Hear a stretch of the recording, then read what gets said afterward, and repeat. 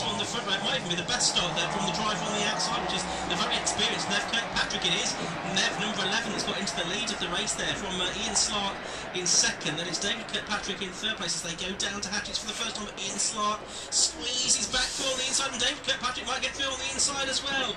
So we've got the first six cars, the Supers, already starting to make a bit of a break away from the rest, but they are having a real ding-dong fight, aren't they, as they come uh, out of Spitfire through to Benny for the first time. Yeah, fantastic job by all of the drivers. They literally must have listened to everything we were saying earlier. Just make it through the first corner and then crack on as normal. But yeah, great start from Ian Slark.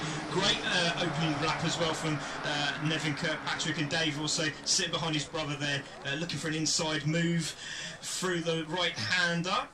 Yeah, Did he quite get it do? Yeah, that's the centre S is there and heading down to uh, Brooklands hairpin for the first. It's 20 minute race this, so a bit longer than some of the races that we've had a We've, we've had lots of red flags and early checkers already, so hopefully it will go the uh, the full distance. There is the mighty mini class uh, battle though, and is that Price that's ahead of that at the minute? Yeah, so it's Mark Price just in front of Dan Smith there. And watch out for Dan, he's, he's looking very, very quick. Obviously, he didn't finish both races at uh, Castle Combe, which is a real shame, but he got the radiator fixed, he got the HT leads uh, stuck together with some cable ties, and he looks very, very fast as they're coming through the Honda uh, curve there. And it looks absolutely sensational. He's in the toe now, he's on the back of Mark Price. Can he get this done? We're on with him now, down the inside. Is he going to have a look? He's got a little bit of chrome bumper uh, hanging off the back there. He's in the water on the right hand side, hard on the brakes through hatchets. Is he going to get that done through the hairpin? Yes, he does. Great move there. Yeah, meanwhile, we're just going, there we are, and there's the confirmation. There's Smith getting through on the inside of Hatchett's hairpin. You can see that bumper just uh, dragging slightly behind the uh, behind the car. If the officials will take note of that? It might give it potentially the black and orange meatball flag. Say, hang on, we've got bits hanging off his car. You need to go and get that taken off. He's really hoping, if he knows about it, that that is not what he sees next time he crosses the finish line because he's just made a great move to get the lead of the race away from number four, Mark Price. Then. And uh, then in the next position in that class, it is uh, Graham Shepherd, isn't it? The winner from Castle Combe. Yes, it is. You can see Graham again, very quick driver. Had his first race win at Castle Combe uh, a month ago, and uh, looking very quick. He's now back on these guys as they come through uh, Brooklands there, and uh, back on the power as they come through Carters. And uh, looks at Darren Nightingale's uh, made a bit of a a contention there. He's now getting on the back of uh, Graham Shepherd as well, so it could be a four-car battle for lead. And also uh, Sam Slater there, who's the uh, uh, indoor karting championship champion at Bristol. He's now on the back of this as well. So watch out for Sam Slater, who's making a move with fastest lap going to Dave Kirkpatrick in the supers. Yeah, he's still there in third place, but looking at to Box Windows, got a lot of pressure on his brother for second place overall. We're sticking with the Mighty Minis for the moment there, and looking at this battle for, for fourth place, which is just flagged up to down nicely now, Daz, which is right to the uh, ahead of uh, Sam Slater as they are heading down into Hatchett's hairpin. You see the novice cross there on the back of uh, Sam Slater's. So he's a relative newcomer to racing, whereas Dan's got a bit more experience under his belt. Yeah, he was very confident, uh. He absolutely enjoyed himself last time out uh, for rounds one and two. And uh, with Sam Slater behind him, again, this is great uh, experience for uh, Sam uh, to sit on the back of someone that is very experienced in Darren uh, Nightingale. So we'll see what he can do, and, and you know, we might get a little bit cheeky and have a little pass at some point. Uh, behind them, a couple of seconds behind, is Susie Inch in uh, 12th place. That's the six car uh, next up, which is uh, Paul Pollitt, a little bit further back. As we're watching them make their way through the Brooklands hairpin, there's 1.3 uh, I. Uh, Mighty Minis having a really good scrap. What kind of lap times are they doing? They're, the Mighties are lapping in this sort of 122s, the Supers are about in 116, so this makes six seconds lap difference between the two. Yeah, and it looks like also the rain's sort of holding out, isn't it? So uh, hopefully we'll stay like that. But Ian has just got faster yet again. There we go, 116.2. Uh, one there, so awesome stuff. There's a side-by-side battle for the lead between Dave and Nev Kirkpatrick. I don't know what's happening there, but uh, looks like it's getting a bit interesting at the back of the pack of the uh, Mighties, which is really good to see. It's great to see Laura Harris. She's been out for four years of Mighty Minis, and she's now back and she's up with the guys. It's absolutely fantastic. Great job. There's the 93 car, that's Sam Slater trying to find the way past Darren Nightingale down there. Hatchett's on lap four of the race. Well, or has he? Because he's then got the right hander neck, but it's the left hand sweeper to Bennett, so if he can keep the car there, he might swing from the inside. Yes, he has done it. Beautiful. Nice move from Sam Slater. Beautiful job by Sam. Just made the car sit where he wanted it to sit. Made sure he had the inside line. Darren, great bit of respect there as well. Great etiquette and uh, gave him the room. Great job, by Sam. Good job. Yeah, very nicely done indeed. Um, James Jenkins, I can tell you, is the car at the back in uh, 16th position at the moment. Susie Inch is going to come under attack here from Paul Hollett there the number 6 car, so that's for 12th position. There's James Jenkins, just mentioned him, just behind Laura Harris there in the number 30 car. The overall is just buzzing past our commentary box window, and it's going to be uh, an attack on for the lead there, I think, as we are watching uh, battle for. the... Here we are, it's the battle for the lead here, down at the hairpin. It's Nev Kirkpatrick to the outside line of number one. Uh, Ian Slark couldn't make it through there though. Steve Rideout's just in the best lap of the race from fourth position. Amazing, yeah, it was a bit of a, a confusion. All sides just going off on the grass as they come up with their Hondas there. Luckily, he managed to sort that out. But yeah, Steve Rideout is uh, he's been around. He's been around a long time. He knows how to drive a Mini, and uh, also racing the Mini Sevens uh, last week at Combe. So uh, he's had a little bit of practice. Uh, let's see if he can close up with these guys. Still plenty of time to do so, but they're battling at the front. Ian Slark's still in the lead from Kirkpatrick, uh, Nevin that is, and Dave Kirkpatrick, his brother, just behind them. So that's a little bit of interest there. there. Brothers. Absolute Dave Kirkpatrick with that very uh, in, in striking Union flag livery, which draped over the the top of the car, isn't it? It's absolutely fantastic. So you can certainly spot uh, Dave Kirkpatrick. These three are about four seconds clear of everyone else. We're going to get a change, are we? Oh, great move at Carter's that. Wow. By Nev Kirkpatrick, that's a very fast part of the circuit. Now they're on the brakes to go through the 90 degree right hander at Honda to end the lap. They're coming through to complete lap number five. Someone's getting the driving standards flag. It's the number 93 car. That's Sam Slater from the Mighty Minis who's getting the driving standards flag. Um, so we'll keep an eye out if there's any further uh, changes with that. But we've had that change for the lead then, Nev Kirkpatrick. That's a great move, wasn't it? It was absolutely beautiful, wasn't it? He literally pinned it, got it on the inside, made sure he, he, he had just enough room, a little bit of paint. Never, never Yeah, mind, yeah. we don't mind that, do we? That's right. Right, as we're watching then those three leaders turning their way through to Benny, this sweeping uh, left-hander just behind our commentary position, passing the crossing. Where cars and pedestrians have to cross the circuit to get into and out of the paddock. Then it's the right-hander at Senna S's. Nev Kirkpatrick here has got into the lead and I sense that he's just starting to make a little bit of a break here, is he, from uh, from Ian Slark. A few car lengths between them, and David Kirkpatrick's just starting to, to drop off a little bit at the, uh, the top two as well. Yeah, I think the, uh, the the track's starting to come to now. Nevin was very very fast in qualifying. He was he was getting that car sideways. It was great to watch.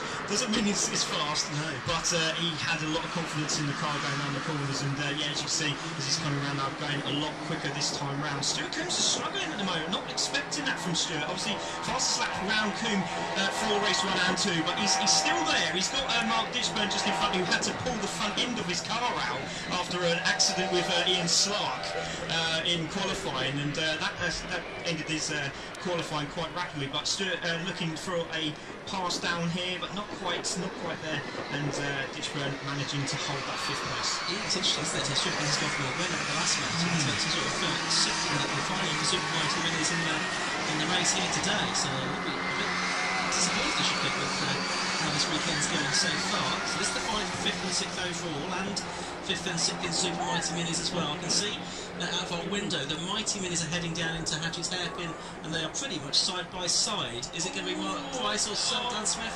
Yeah, he's gone wide there, hasn't he? Gone really, really wide, coming into Hatchett's there, Ian, and uh, Yeah, you can see it's on the screen Shepherd's got it. Shepherd's got second place, and now that's put uh, Mark Price right back into third place. And Dan's looking very comfortable at the front there. He was under pressure, but a little mistake there from Pricey, and uh, Mr. Uh, uh, Mr. Shepherd has gone into second. Yes, it Graham Shepherd winner at Castle Combe in uh, one of two races there. Darren Nightingale was over the win, and bit like uh, Stuart Coombs. I mean, Nightingale is one, two, three, four, fifth in his class. So again, he's a bit further back than he would have liked to have been. And Nev Kirkpatrick's just in the best lap of the race, 115.68 now. Impressive stuff, yeah. I mean, like I said, you're just going to get faster and faster now as Nev, and uh, it's a shame because Emily's not here. Sports day with the kids, Okay. uh, but a third and fourth for the children, so uh, we'll be very, very happy with that. Uh, I got that information directly from Emily, so uh, good luck to her. And uh, but Nevin is definitely starting to make a, an increase, isn't he? But uh, still, the mighty minis at the moment, uh, still Dan in front of Shep. But again, Mark Price has got on the back of this. He's not giving up, is he? Ten minutes to go. Yeah, still half the race left, isn't there? So uh, no, uh, no shortage of time in this race for Mark Price to try and strike back after that uh, moment down at uh, Hatchett's Hairpin on the previous lap. Yeah. So they're on the brakes now for uh, hatchets on this lap. This is lap 8 of the race. Price Bet goes a lot deeper into the corner, trying to get a better cut back on the exit, but I'm not sure that's really working out for him. Yeah. Just at the moment. I mean, it was a very a very interesting line, but maybe it's starting to get dry there. Maybe he's seeing something that nobody else is seeing, and we might see that develop without you know, the nine uh, and a half minutes to go. And uh, it looks very, very interesting. But he has definitely closed up on Shepherd now, hasn't he? And he's looking for that again. Another interesting line going a lot wider this time. Might get a cut back here, but again, oh look at Shepherd's wheels. Mean, literally full lock left. It's absolutely brilliant as they come through the uh, Senna S's. Brilliant. Yeah, so heading out of Senna down towards the Brooklands hairpin. Uh, these three cars battling for the lead in the, uh, the Mighty Minis.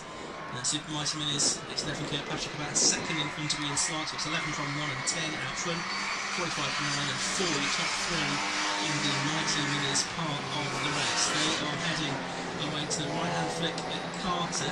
And actually, uh, Smith's getting away now a little bit, isn't he? So almost there's a bit of gap over between first and second in. Yeah, it looked like there's a little bit. Oh, Shepherd just a little bit wide and a little bit skittish as he comes off the exit of Hondas, but that's given Mark the opportunity on the left-hand side. But we're with the leaders at the moment, and uh, Slark is still. Well, we see Dave is now closing up on Slarky now, uh, and there is uh, Steve Rideout in fourth. Now he's just come out of nowhere. I know, yes, he's four seconds behind the leader, but I tell you what, they're all in the same shot, and that means something with eight minutes to go. Uh, great button just back to our comms box. This is for uh, we're 12th overall. Ollie Samways has got the front of that. Ollie from the Racing Sports Specials with the 750 most. of. This is the back we're looking at now, number six, which is Paul Hollett. Uh, brakes a little bit too late. You got ahead of a couple of the cars. He's dropped right back behind them again, but he just outbraked himself there. And I think he's gone basically to second to last position now. He's fallen behind James Jenkins. I think Laura Harris is behind Laura as well. Possibly not, but it is Ollie Samways there in the uh, 58 car. Yeah, Ollie's uh, new driver. Yeah, Ollie's new driver for this week, uh, using one of the uh, Octane Racing uh, cars, the 58 driver, and uh, he's got a bit of a background as well, racing the BR SCC. Was it the Carbon Cup and uh, for the MR2s. He's a very good driver. He's very consistent. Uh, owns a road and race safety, so uh, we'll be seeing some more of him. I'm pretty sure. And there's a nice little. Uh, oh, that's a little bit aggressive there, wasn't it? But uh, oh, Shep's managed to. Oh, there's a little bump there with Darren Nightingale. He went a little bit skittish going through Honda curve, lost the back, but uh, looks like Darren saved him there, Ian. Yeah, it looks like it. So they're heading down to the hairpin again. Is there's certainly some damage, I think, to the front of the Das 90 car number 37. Shepherd back through on the inside. Sam Slater that sort of uh, made his way, but he's now got a five second penalty on his time stamp check in the number 93 car, ninth on the road. Be for exceeding track limits, and that probably, in its own right, suggests that the conditions are improving. He's probably now having the confidence to, to push a little bit too far in some case. Yeah, I mean that was a little bit too confident, bless him. But it was, uh, it was great. The birthday boy as well. Um, it was his birthday this week. Uh, out on Facebook, uh, telling everyone to uh, wish him happy birthday if they didn't. Um, hope he got sunburned. So that was a really nice uh, little message. But yeah, he's, he's his confidence now building up. Six minutes to go. Track drying. It's on, isn't it? Yeah, see, see, see what he can make of the race. So we're watching there. Uh, Graham Shepherd and then Daz Nightingale. So they are 10th and 11th on the road, but Nightingale carries more speed out as that time. So as they head to the fast, flat out right hander at Carter's, can Nightingale go around the outside of it? Oh, yes, he can. beautiful. Sweeps through. Beautifully done, yeah. Mistake there from Shepherd. Got stuck in the mud quite literally, and uh, in goes uh, Nightingale for that position. But uh, it looks like there's a big, big gap there between um, who we, Dan Smith and Pricey. But there's another battle going on Well, here. we've now got the leaders, the Super Yeah. leaders, in amongst the back group of the mighty. So Nev Kirkpatrick is trying to pick his way past Susie Inch and also past uh, Ollie Samways as well. He's done that at Honda. Oh, wow. He's got through nicely, scythed his way through there. Uh, he's slotted something. I think it's one of the stickers that's on there. Yes. That's sort of flapping in the breeze there as he comes across the start and finish line. Uh, there you can see David Kirkpatrick. He's uh, cleared Susie Inch as well. Susie trying to get back at the inside of Ollie Samways here for position uh, 12, that would be. And she's done it nicely, doesn't Susie? Up uh, there at Hadge's Oh, she did fantastic in qualifying. The confidence was beaming. We went and saw her in the paddock. She was really happy. Oh, and nice pat in the back as well. But yeah, she's leading this pack at the moment. Uh, Samways is there just behind her. Uh, And uh, you can see Jenkins has now got into this mix as well, so it's great to see those guys. But at the moment, still Nevin holding. But Ian Slark did a fantastic job going through Honda Curve there because that could have changed everything, but yes. he got such a good exit. It was really a decisive moment of the race, it wasn't was. it? Uh, it's only going to happen once when they sort of have to deal with that traffic, and uh, Nev Kirkpatrick dealt with it very well. As to be fair, Ian and David Kirkpatrick, also his long that is, David Kirkpatrick also dealt with it nicely. They're all still there, pretty equidistant as they, they come through uh, Carter's again. Just less than five minutes to go now, so probably going to be I think four more laps to go at the end of this one to make it a oh. 60 lap race. Yeah, and there we go. Ian Slark's gone off the track and he's going to save it. Oh, that's a very good save again from Ian Slark. Absolutely fantastic save from Ian Slark, but that's given Dave the opportunity now to go down the outside into the breaking zone at Hatch's hairpin, and he's got second. Nevin uh, there is still first, but fastest lap to David after that there. Yeah, big, big moment. So you've seen the pit wall looming large, uh, and he's been very keen to keep out of that, uh, of course. Uh, in uh, because that would have been a heavy hit had he gone off. But uh, that belonged, it was all of his many, many years of uh, multi-media racing experience, and and got it back into a straight line, albeit he did lose that position. Still four minutes to try and get that back. There's the mighty minis, that back for 12 overall again Susie Inchie on the same race, look at these positions again actually. Uh, Mark Ditchburn, just saw, saw go through a shot there, he's in fifth place overall in the super mighty mini part of the race. There's Samways, and it's Samways now with the Jenkins behind, isn't it? Because uh, Susie Inch is ahead of him now. Yeah, so he's doing a good job. You can see uh, uh, Laura Harris is still on this path. I'm really impressed with, with uh, Laura. She was a little bit underconfident, but uh, a little mistake there going into uh, Brooklands there. I'm not too sure who that, that was. Susie Inch. Was it yeah, Susie Inch? Yeah, I think she's now getting a little bit more confident. It was a good job actually. She got the advantage that she had over yes. She's kept the position. We have had a change there because that's uh, the 32 car of uh, Jenkins that's got ahead now of Samways and Robert Harris is going to go. I wonder if Samways has got a problem, just made a mistake there because obviously he's just lost a little bit from round. Yeah, just going to see if we can hear him when he goes past. Sounds okay, but it's great. Again, you can see uh, Ditchburn is now having a little battle here with uh, Stuart Coombs at the back. So Stuart Coombs has got past and uh, he's going to have a low. He's very late on the brakes. Is he going to try around the outside? Is there grip there? That's going to be a good move. Oh, fantastically done. He's done it. Brilliant. Yeah, so Ditchburn back ahead to fifth place. He's going to try and put Laura Harris between himself and I'm actually just wondering, is the yellow flag down there? I think there might be, you know. Uh, yes, because the yeah, yellow flag. Hopefully, uh, from uh, Mark Ditchburn's point of view, that incident was uh, not falling foul of this. The Shepherd. I think it's Shepherd, yes. Shepherd, yes. So he has come to a stop by the looks of it. He was, I think, up in third place in that class at one point in this race. The winner from Castle He's got oh, again now. That's, That's good. good. news. Yeah, we no red flags yet, which is fantastic. Was we wanted what we wanted. Longest race and no red flags. Fantastic stuff. But still, well done, uh, yeah, well done, guys. Absolutely fantastic. And girls, and girls. Absolutely. but it's good to see some, some female races on the grid as well. Great to see that. Uh, Whiting has always had that good gender balance in there as we're watching uh, Daz Nightingale have been lapped now by the race leader Nev Kirkpatrick. So Daz Nightingale is fourth within the mighty minis. So Kirkpatrick's got past that sort of uh, rear group for mighty minis. He's now trying to work himself through the quick club, which will be slightly more uh, challenging, I think. Yeah, it's getting a little bit more interesting now, isn't it? With the uh, with no rain, so obviously the the guys getting a lot faster in the supers, which has made a massive difference. Obviously now they're leading laps. I mean, it, that's just it just shows the uh, increased grip that the, the uh, guys in the supers are getting now. Yeah, lap times uh, 115.63, the best lap for David Kirkpatrick, but uh, not actually too many improvements. They didn't to improve in the last lap with Sam Slater. That's improved his lap time in the Mighty Minis there. So watching Ian Slark, he's just got past 98 well. He's in third place overall. He's not been able to get that second place back from Dave Kirkpatrick after he had that uh, after he had that big moment at Honda about three laps ago. Yeah, indeed, and uh, he's still pushing. Is he still trying? He's trying to get on the back of these guys, but it's just not enough. But is there at the front here? Just going to say to, to, just change a minute for the mighty minis because it looks like uh, Mark Price actually catching Dan Smith. It's, uh, it has dropped down slightly, hasn't it? But this battle at the back. Oh, Paul was a very wide there. Paul Hollett there. That was interesting. Mark Price is just in his best lap of the race, actually, wow. running at 20.36. He was six tenths quicker than Dan Smith on that lap, so the gap there has come down to it's about 1.2 seconds.